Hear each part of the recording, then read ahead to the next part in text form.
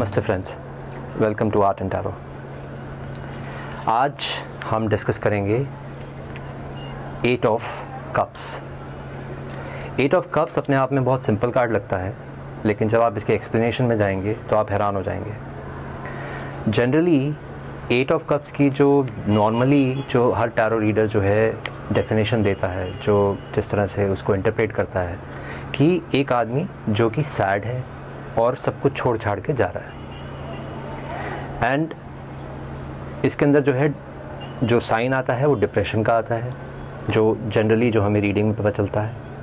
लेकिन मैं आज आपको रिवील करूँगा कि इस कार्ड का जो मीनिंग है, जो आप सोचते हो, जो जनरली जो बाकी के टैरो रीडर सोचते हैं, ज़्यादातर 99 परसेंट उनका इंटरप्रिटेशन यही है।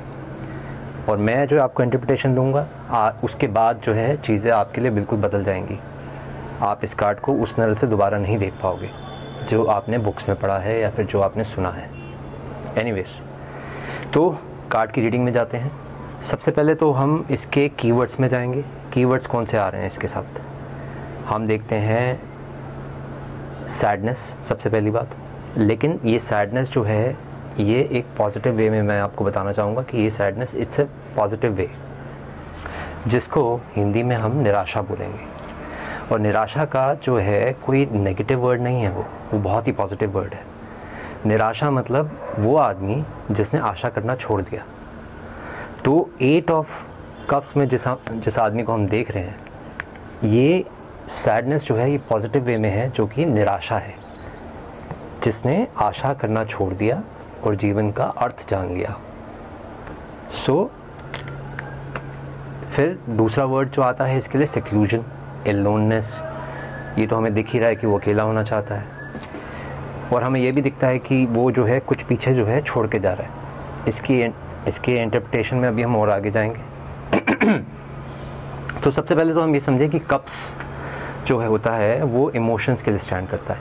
इमोशंस के लिए रिलेशनशिप के लिए और इसका एलिमेंट होता है वाटर एंड जब हम जब हम लव एंड इमोशंस की बात करते हैं तो इमोशंस के अंदर जो है, वो सिर्फ़ पॉजिटिव ही नहीं, उसमें नेगेटिव भी होता है.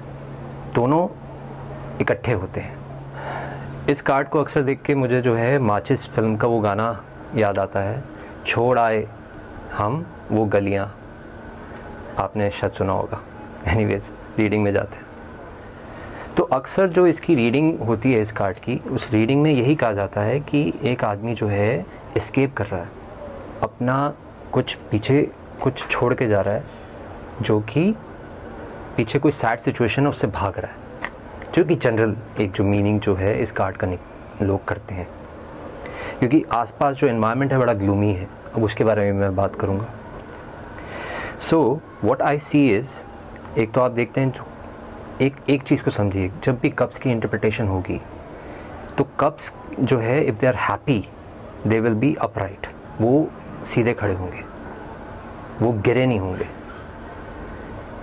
और अगर गिर, अगर गिरे हुए हैं तो इसका मतलब है कि it's a negative kind of emotion it's a sad emotion which is shown there but in this case आप ये देखो कि सारे जो आठ कप्स हैं वो सारे के सारे जो हैं वो अपराइट हैं वो खड़े हुए हैं।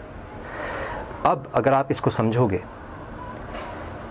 they they look perfect the only thing which is missing is उसका अगर हम टोटल उसका सीक्वेंस देखेंगे like some one cup is missing in between which will make the design perfect so आठ कप मौजूद हैं, नोवा कप मौजूद नहीं है। नोवा कप के होने की वजह से ये it could turn out to be positive कुछ ऐसा समझ लीजिए, ये आदमी और कुछ नहीं, उस नोवे कप को ही ढूँढने गया हुआ। उस नोवे कप के कारण जो है, इसमें परफेक्शन आ जाएगी। ठीक है? तो this card could also mean like this man is looking for perfection and he doesn't like imperfection इसलिए he is walking away from it he wants things to be perfect तो किसी चीज़ की कमी, क्योंकि उसको लगता है कि यहाँ पे कमी है, यहाँ पे कुछ एक गैप है जो इसको भरना है, उसी गैप को भरने के लिए वो हमें उस काले पहाड़ की तरफ़ जाता हुआ दिख रहा है। और अगर आपको पता हो कि जो नेक्स्ट इसका कार्ड है नाइन ऑफ़ वॉन्ट्स वो हमें जो है, इस कार्ड के बाद जो है, हमें दिखता है कि वो कंप्लीट हो गया मामला। क्योंकि हम उस आदमी को देखते हैं like he is happy he has everything what he needs so अब और इसके आगे इंटरप्रिटेशन में जाते हैं। जो, जिस तरह से जो है, वो लीड कर रहा है अपने पाथ को, एक तो हम देखते हैं उसकी स्टिक जो है, वो वाइट कलर की that means like his wand his wand जो है, उसका जो है it's of made of light which shows him path that wherever he is going और उसके जूते और कपड़ों से पता चलता है कि वो सैड नहीं है, क्योंकि red is a colour of aliveness red is colour of someone who is who is alive someone who knows what he is doing and someone who is blessed with life और अब हम इसके थोड़े से और गहरे मीनिंग में जाएँगे। अब हम अक्सर ये लोग सोचते हैं, ये ऊपर जो है, ये सन है, या मून है। तो अगर आप ध्यान से देखेंगे, यहाँ पे आपको दिखेगा कि यहाँ पे एक एक्लिप्स की पोजीशन बन रही है। कि जो मून है, वो सन को ढकता चला जा रहा है और इसी कारण से जो है, वहाँ पे अंधेरा होता जा रहा है। तो आपको एक चीज़ जो है, जहाँ तक मुझे एक चीज़ का पता है, वो ये कि जब भी एक्लिप्स होते हैं, जितने भी सोलर एक्लिप्स होते हैं they are you know known as something positive and it is positive in terms of spirituality also. तो कुछ ऐसा समझिए कि जब मून जो है सन को कवर करने को है, तभी एकदम से जो है this is the time where he wants to escape बिना किसी को बताए, क्योंकि उसको उसको सन की लाइट भी चाहिए और मून का साथ भी चाहिए। दोनों चीज़ें इकट्ठे हैं। जिसकी वजह से वो क्वाइटली जो है, अपने जो है, अपने वो ब्लैक माउंटेन को फॉलो कर रहा है। अब इस ब्लैक माउंटेन को भी समझ लें। ये ब्लैक माउंटेन जो है, ये और कुछ नहीं, ये it's in my language it will be a womb where this man will go and disappear into darkness और इसी डार्कनेस के अंदर उसकी ग्रोथ होगी। So this is the time it's time to disappear for this man it's time to disappear and work on himself and this also it's it's a beautiful time.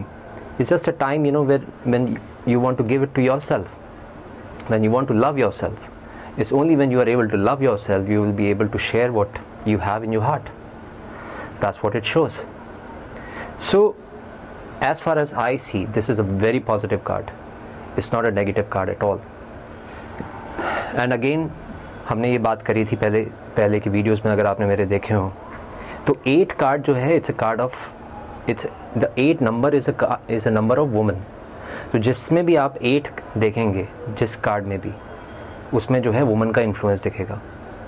यहाँ पे eight का influence जो है mystery के लिए stand करता है, जो कि एक फेमिनिन क्वालिटी है। So eight of card the way it looks it's a card of mystery card which gives you a new vision a new opening a new understanding तो जब भी आपकी रीडिंग में एट ऑफ़ कप्स आएगा, उसका यही मतलब है कि this is the time where you can just go back to your womb और go back to your space your own very space and just be happy in your own self और इसमें कुछ भी नेगेटिव नहीं है, क्योंकि जैसे मैंने बताया कि कप्स जो हैं, वो सारे के सारे जो हैं अपराइट हैं। So all emotions are shown positive so he is walking towards it in a positive way and eclipse is also positive और वो जो एक मिस्ट्री सा जो इन्वायरमेंट क्रिएट किया, जो क्रिएट किया गया है दैट इज़ ऑल्सो पॉजिटिव क्योंकि उसमें वुमेन का इन्फ्लुएंस आ गया। So this was my reading for eight of cups आशा करता हूँ आपको ये वीडियो पसंद आया होगा और आपको कुछ नया सीखने को मिला होगा। Uh, मेरे चैनल को आप लाइक कर सकते हैं सब्सक्राइब कर सकते हैं और मैं आपको अपने नए वीडियो में दोबारा से मिलूँगा। थैंक यू सो मच नमस्ते।